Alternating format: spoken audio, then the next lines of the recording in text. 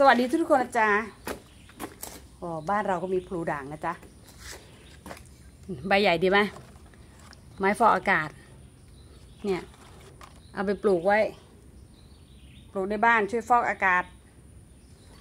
ช่วยดูดซับสารเคมีต่างๆ ได้เป็นอย่างดีเห็นไหม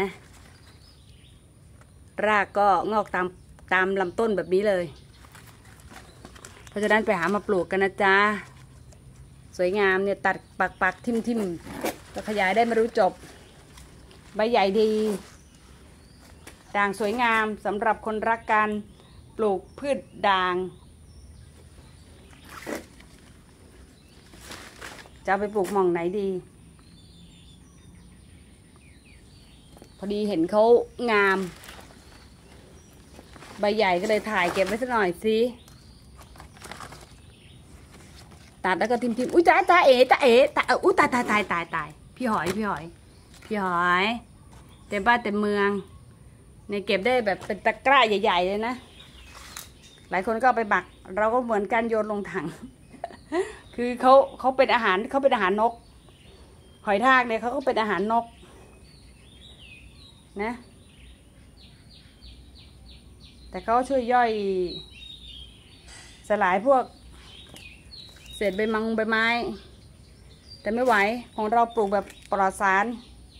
ต้นกล้าหายเกลี้ยง เดี๋ยวก็จะมาเก็บต่อ นี่มองไม่เห็น นี่เราเดินเก็บรอบบ้านนะทุกวันนะทุกเช้าเลยเออเอามาโชว์ให้ดูว่าบ้านเราก็มีพลูด่าง ตัดกิ่งปักชันทิมทิมทิมทิมก็ติด เอาไปใส่ใจกันนะใจกันสวยๆ ไปวางไว้ในห้องน้ำสวยงามมาก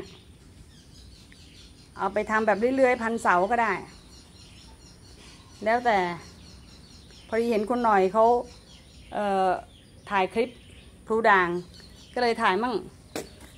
เอ้ย ไปหาซื้อพลูด่าง บ้านไร่วังพยอมได้นะจ๊ะพี่หอย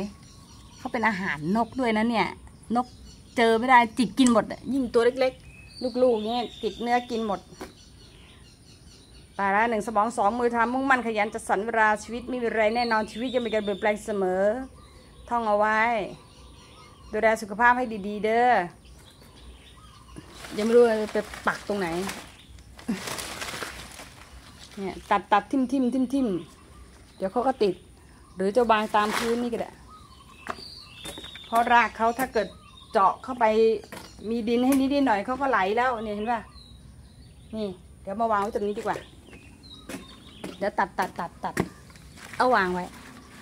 นะอย่างนี้นะเนี่ยวางไว้แบบนี้นี่จิ้มเข้าไป แค่นี้เอง เดี๋ยวเราก็ได้แล้วเดี๋ยวเขาก็เลื้อยไปทั่วน่ะเอาดินมาลงไว้สักหน่อยก็ยังได้เลยเนี่ย เอาดินมาลงมาลงไว้เนี่ยตัดตัดแล้วเอาไปจิ้มจิ้มไปละ